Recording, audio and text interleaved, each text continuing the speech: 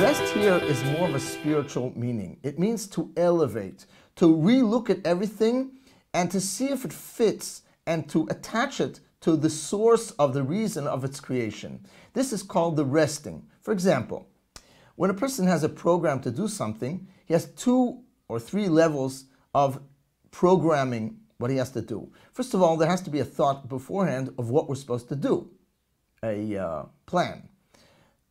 Obviously, God had a plan on his creation, although it's not written in the Torah.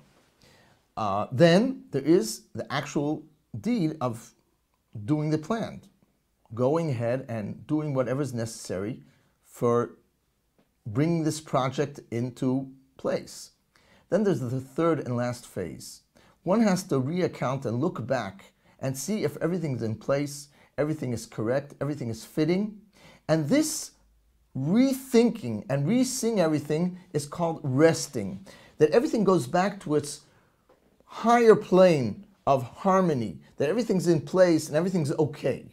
This is the meaning of that God rested on the seventh day.